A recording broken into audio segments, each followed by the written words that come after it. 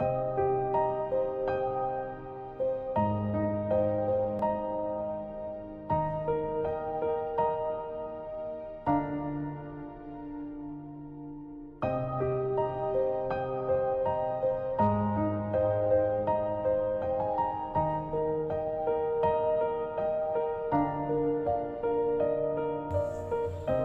Vincent van Gogh is one of the world's greatest painters. The potato eaters, sunflowers, and the starry nights are iconic paintings loved and sought after all over the world. Van Gogh was a legend, a genius who created a poem of colors on canvas, and who, in an uncontrollable fit of rage, cut off his own ear. He lived in abject poverty and died due to starvation. A painter whose artwork today fetches millions of dollars spent a life in oblivion as a total failure. Often referred to as the tortured artist, Van Gogh's art had no takers when he was alive. Vincent began work as a trainee with an art dealership, then as a school teacher a preacher among the mining workers. But it was the world of colors that beckoned him. He began to paint at 27, and sadly, at 37, he died. But within these 10 years, Vincent van Gogh produced 1300 paintings, drawings, and sketches. It is said that he would work on one painting for only 36 hours and then start the next one more than a thousand pieces of artwork, and yet the painter managed to sell only one painting in his lifetime. Why? What could have gone wrong? Vincent van Gogh's life was a saga of poverty, loneliness, rejection, and mental illness.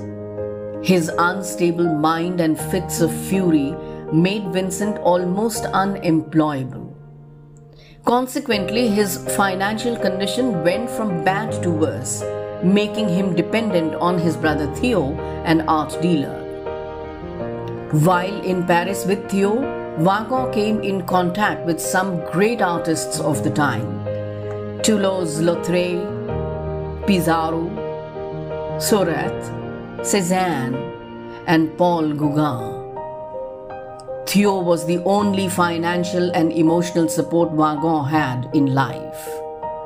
Theo once wrote to a friend, I quote, I should not be surprised if my brother were one of the great geniuses and will one day be compared to someone like Beethoven. Unquote. And time did prove Theo right. Vincent van bouts of fury were well known. Perhaps the non acceptance of his art made him intolerant, lonely, and severely disappointed. The incident of Gogh cutting off his own ear has been a much debated one. Some historians believe that he had a heated argument with another painter, Paul Gauguin, and in a fit of fury, Gogh sliced off his own ear. Another story says that Paul Gauguin, an expert fencer, cut off Van Gogh's ear during a fight. Van Gogh, who didn't want to lose this friendship, agreed to cover up the incident to prevent Paul Gauguin from being arrested. Legend has it that Van Gogh wrapped up his severed ear in a newspaper and gave it to a prostitute named Rachel, who, believably, fainted on the spot. Vincent was rejected in love many times. He first fell in love with his widowed cousin, Stricker. He was famously rejected by her with the phrase, No, nay, never. Then a string of affairs happened, none of which converted into marriage. With Hoornik, a prostitute, with an older neighbor, Margot Begeman, and a cafe owner in Paris named Agostina Segatori. Vincent spent his adult life in poverty, and his diet mainly consisted of bread and coffee, and of course, he took to alcohol like fish to water.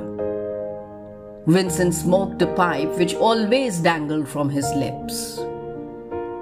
Whatever little Van Gogh earned or borrowed from Theo, it was all used for buying colors, canvases, and other painting equipment. He hardly ever had money to pay to models, so Van Gogh painted his own portraits. Van Gogh's mental health was pretty unstable. He would get hallucinations and delusions which became intense as time passed. Van Gogh was named Le Fou Roux, the red headed madman, by his scared neighbors.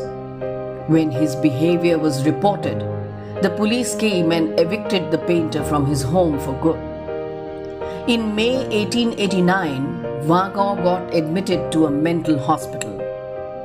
The hospital records show the cause of admission as epilepsy, but researchers have suggested bipolar disorder, alcoholism, and acute intermittent porphyria, a metabolic disorder. Vincent continued to paint even in the asylum. His most famous painting, The Starry Night, was painted there.